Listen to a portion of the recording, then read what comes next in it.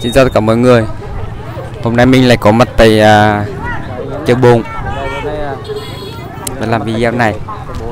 Lời đầu tiên chúng kết quả cả Tất cả các anh em đặc biệt là những anh em đang sinh sống và làm việc à, ở nước ngoài Và những anh em đang sinh sống xa quê hương Không trở về quê ăn Tết được.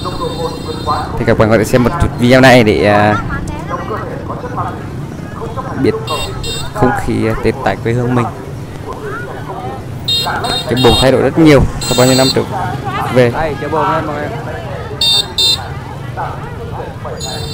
Sau lần chạy chờ thì bây giờ chờ mới xây rất là đẹp, sạch sẽ. Quan sát cũng nhiều, tất nhiên hôm nay không đông bằng hôm 29 Tết. Hôm qua thì vì bẩn nên không ra được. Trước mắt là tiệm vàng Minh Loan, khá là tốt bên là hàng ngoài Playa.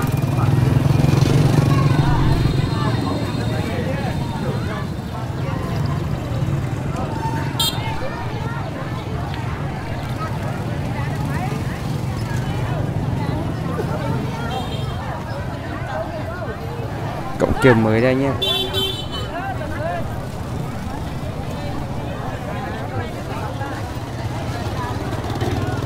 chiều hôm nay hơi đông anh và đặc sản những món rau lại chuối. Mua về đây thì vô cùng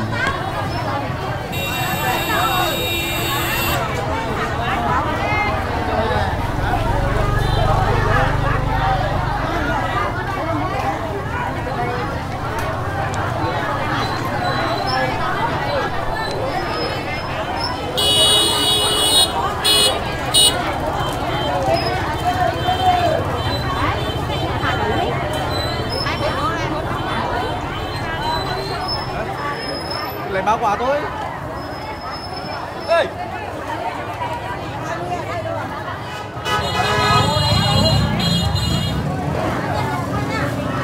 Đó, quay lên nữa về đó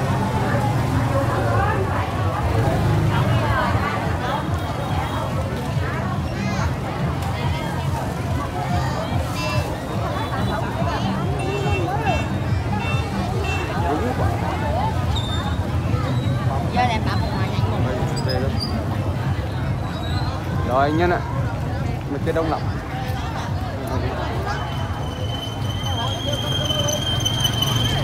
đêm Trên xe rồi đâu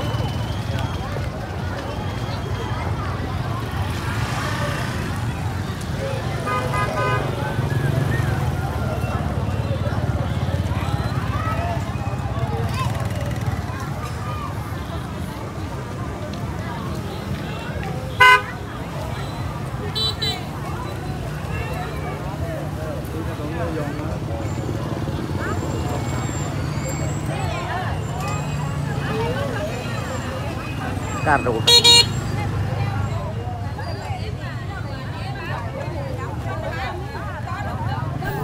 và đây là con cầu treo huyền thoại mà bao nhiêu thế hệ đã đi. Thì bây giờ là không cấm à, không cho xe ô tô to đi nữa nhưng mà xe máy thì vẫn chạy vu vu.